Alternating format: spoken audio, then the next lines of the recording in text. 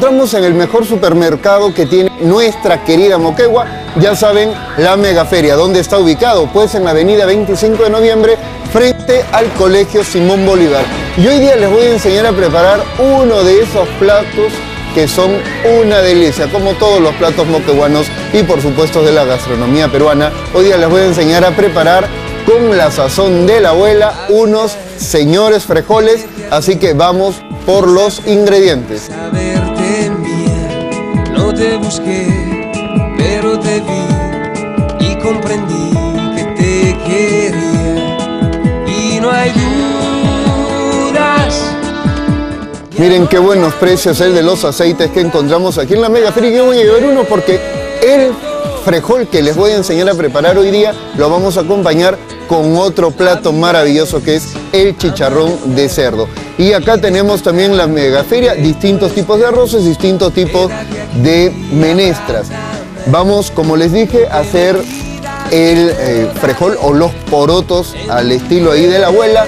Así que vamos a llevar el frejol canario, pero miren, también tenemos frejol negro, el frejol guinda, el frejol eh, de Castilla, en fin, distintos tipos de frijoles y cada uno tiene una peculiaridad de tener un sabor característico. En este caso, llevamos el frijol canario.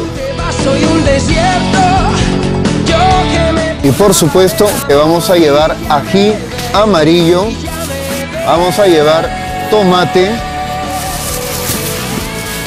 limón y por supuesto nuestro cerdito. La vida es tenerte a ti. Y le vamos a dar un toquecito especial y una variación, por supuesto, a la receta que hacía la abuela. Y vamos a agregarle el tocino ahumado o costillita ahumada también y unos churritos para que le den algo de picante al saborcito. No tiene cura, nada y ya saben que el único lugar donde encontramos esta maravillosa bebida es en la mega feria La Guaraná Light. Ya tenemos todos nuestros ingredientes, así que de acá nos vamos a dirigir a la casa tradicional a preparar estos porotos de la abuela. Ya estamos acá en la casa tradicional y hoy día, como les dije, les voy a enseñar a preparar los porotos de la abuela. Este plato fantástico que es peruano y puesto también tiene la forma de prepararlo acá en nuestra querida patria chica, nuestra Moquegua. Y en este caso hemos escogido este tipo de porotos o frijoles, los canarios. Tenemos un montón de variedades aquí en nuestra patria pues estos son los ideales para preparar este tipo de platos. Yo cuando era niño me acuerdo que le decía a mi mamá, mamá, prepárame esos porotos ricos y mi mamá los preparaba con ese saborcito de las abuelas, por supuesto. Entonces lo que tenemos que haber hecho con nuestro poroto o frejol es ponerlos a remojar desde la víspera y vamos a ver, miren cómo ha crecido. Vamos a agarrar uno a uno para que comparen. Ahí está.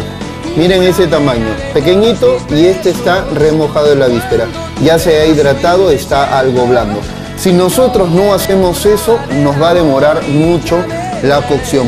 Y el secretito para cocinar muy bien los porotos es esto de acá. Un poco de bicarbonato de sodio.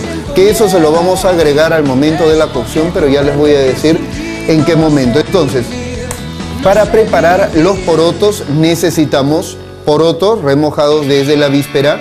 Para el aderezo necesitamos ajo, cebolla, ají amarillo, sal, pimienta, vino blanco y por supuesto tenemos que agregarle carnes al poroto. En este caso la abuela le echaba simplemente eh, la carne de cerdo. Si usamos, y este es un secreto, si usamos un kilo de porotos, vamos a necesitar un kilo de carne de cerdo. Tiene que ser equitativo para no encontrar puro poroto y no encontrar algo de carne ahí, por supuesto, ¿no? Entonces eso le vamos a hacer. Eso por parte de la familia de mi mamá y la abuela, mi abuela paterna, lo que le echaba a los porotos era esto, el tocino ahumado. puede, o bien puede ser la costillita ahumada y esto le da un sabor espectacular. Si no lo consiguen así en el mercado, lo podemos conseguir así en feteadito. ¿Sí? Eso le vamos a agregar a nuestros porotos y aparte yo le voy a dar un saborcito picante y he comprado unos churritos picantes para agregarle a los porotos. Entonces ahí tenemos los ingredientes para hacer estos porotos de la abuela. Pero lo vamos a acompañar con chicharrón de cerdo. Y para el chicharrón de cerdo necesitamos carne de cerdo cortada en trozos de unos 150 o 200 gramos porque no queremos trozos inmensos de chicharrón. Ahora si quieren más, pues se lo hacen cortar más.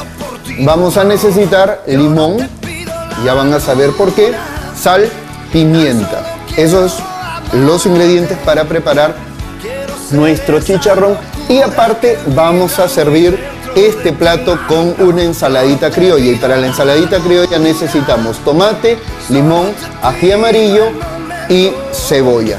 Esos son entonces nuestros ingredientes. Yo ya puse el agua a hervir. Entonces, aquí viene el primer paso para hacer nuestros porotos.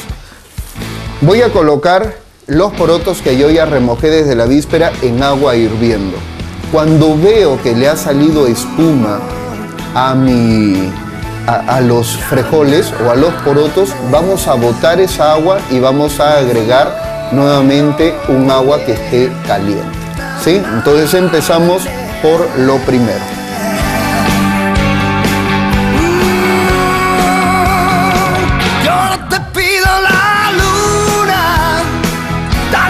Entonces vamos a dejar que esto rompa el hervor y cuando veamos que botó la espuma, ese es el momento en el cual vamos a botar esa agua y la vamos a reemplazar por otra. Mientras tanto, yo ya puse a hervir un poquito de agua para nuestro, nuestro chicharrón. Entonces, y acá está el secreto, voy a tomar limón y le puedo echar directamente al cerdo o al agua donde vamos a poner a zancochar ligeramente la carne de cerdo. No tiene que ser mucha agua, tiene que ser poco como para que ayude algo a la cocción y solito que se vaya consumiendo esa agua y después el chanchito va a botar la grasa y se va a ir haciendo solito el chicharrón. Entonces vamos a hacer lo siguiente, ya saben, el jugo de limón directamente a la carne del cerdo o bien al agua, como ustedes deseen.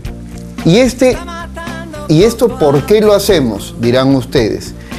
El limoncito lo que va a ayudar es a que nuestra carne salga muy crocante. Y a quien no le gusta comer este chicharroncito y sentir lo crocantito del pellejo. A todo el mundo. A mí me encanta. A mis sobrinas les fascina. Así que esto le va a dar ese toquecito crocante. Entonces, Vamos a poner un poquito de sal, un poquitín de pimienta, no mucho, y esto va a nuestra olla. Que las miradas se caen y que muere el mar. Tú y yo tenemos que hablar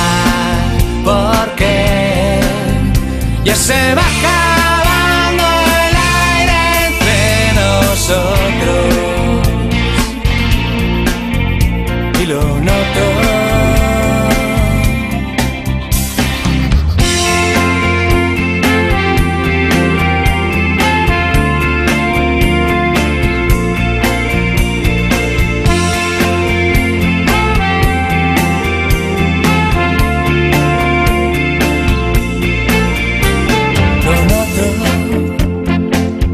que me esquivas evitas mis caricias, que pones mala cara si te toco.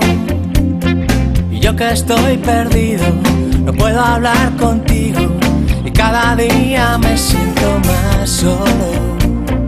Me voy hundiendo poco a Ya está, miren la espumita que bota nuestro frijol. ¿Ven? Entonces lo que vamos a hacer es botar esta agua y la voy a reemplazar por una nueva.